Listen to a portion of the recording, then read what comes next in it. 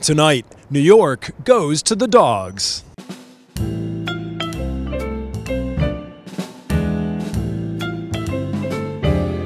We are at the 136th annual Westminster Kennel Club Dog Show. This is always such a fun two days in New York City. We are here as guests, very gratefully, of the Humane Society of New York, and the toy dogs have just entered the ring. But I have to say, what you'll see in our episode is a little bit different from what you see perhaps in some of the television coverage at home. In fact, we're going to bring you down to the benches. That is the area where you can get up close and personal with some of your favorite pooches.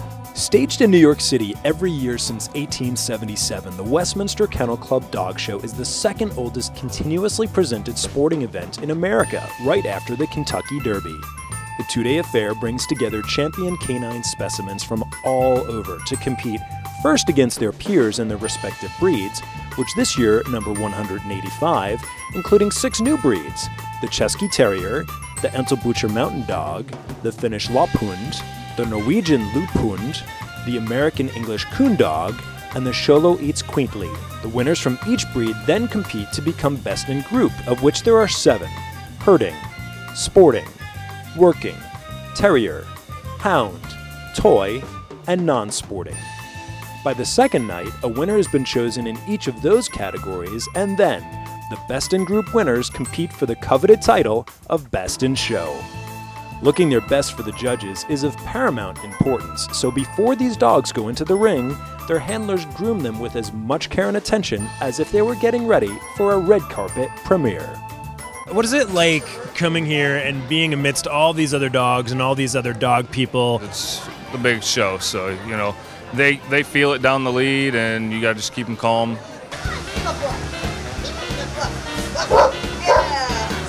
Say goodbye.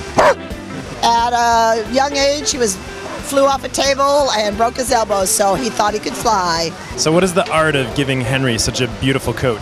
Just making sure the hair is straight, that the hair is clean. He's uh he isn't discolored. How do you get his mane to be so perfect? Drying it straight, and then put a little hairspray in it to keep it standing up straight. The dogs they go through this every day of their life. They get baths like sometimes twice a week. They just become accustomed to it, and even if they come in not really used to it, they start to because it's their job.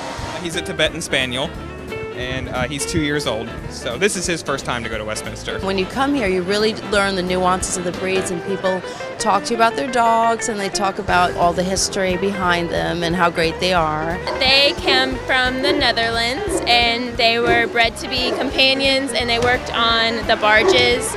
And I believe they were on the barges to bark if someone or the child fell overboard.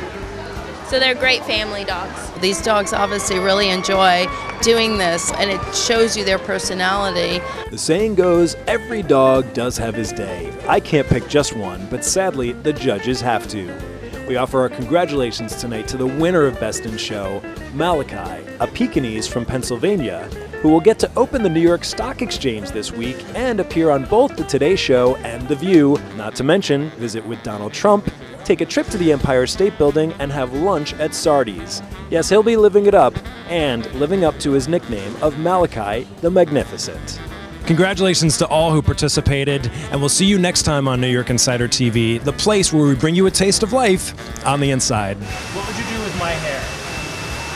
You seem like you work wonders. I'd scrunch it and put a little uh, gel in it. Mine's glued.